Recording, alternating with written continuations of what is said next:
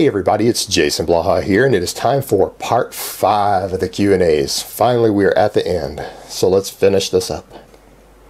Is it safe to squat, deadlift, and bench whilst pregnant?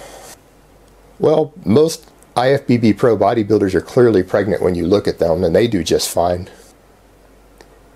But on a more serious note, yes, it is, as long as your doctor doesn't feel that it's going to be an issue. Again, when you're pregnant, always talk to your doctor, get their input on it. But as long as you're healthy and strong enough to do so and you've built a foundation already, I think it is perfectly safe and fine to do so and probably beneficial.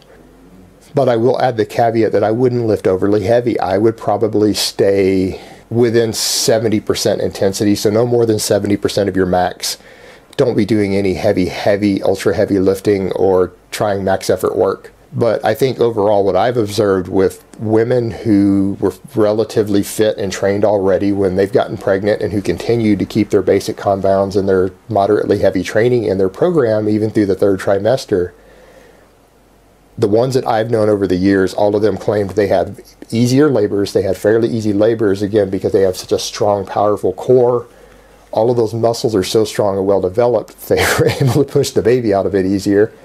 And they bounced back. Their their recovery after giving birth was just so much better because all of those muscles were still toned, they were still strong, and they were able to recover and get their fitness levels up back so fast compared to, to most women because of that. So I would say it's very beneficial to do so as long as you keep it within certain limits and you're consulting with your doctor. All right, next question. How did you deal with your herniated disc when you were younger? This was before I started lifting. I must have been, I could have been 16. I think I was 15. It's kind of hard to remember. It's been over 20 years ago.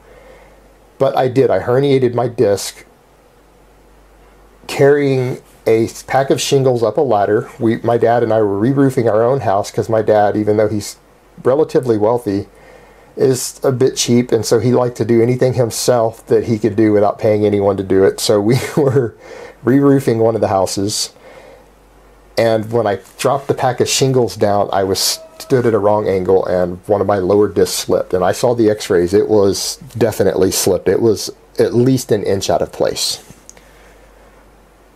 and my back was kind of, you know, catawampus.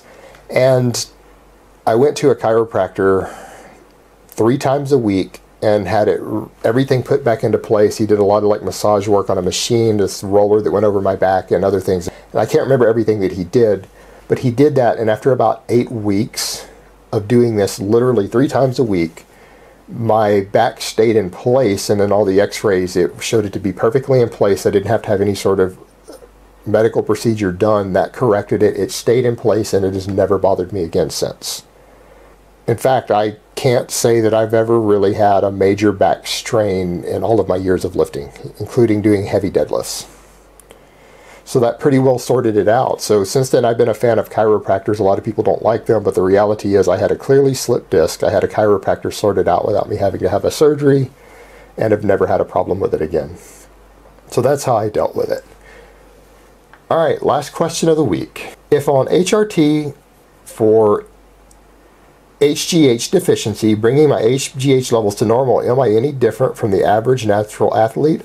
Or am I benefiting in some way that I am unaware of?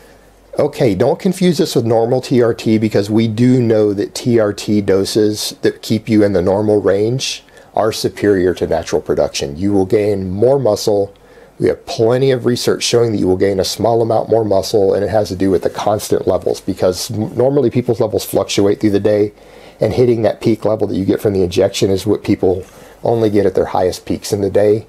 And even that's one of the reasons that all this worry about fluctuation doesn't matter because it doesn't matter if you spike it, it's just going to drop a little later. Whereas when you're held at a constant level, so you gain more. Whereas with HGH, large changes in HGH levels don't seem to affect muscle growth or your gains. So you might get faster connective tissue healing and regeneration than you had when you were deficient, but that's only going to keep you at the normal level. You're not going to see any real change in progress. You don't really have any advantage. So I would still count that person as effectively a drug-free athlete, and it won't matter because they won't catch you on a drug test anyways. Someone who's using HGH, that way they could literally put you through every drug test known to man Olympic style and you would come up clean. So if you want to compete as a drug tested athlete, you have no problems doing so. You'll never fail a drug test as long as you're using your prescribed dose. All right, guys, so that's really all I have to say on that today. I hope it has been informative, and I will talk to you guys next time. But let me give you guys a bicep shot before I go.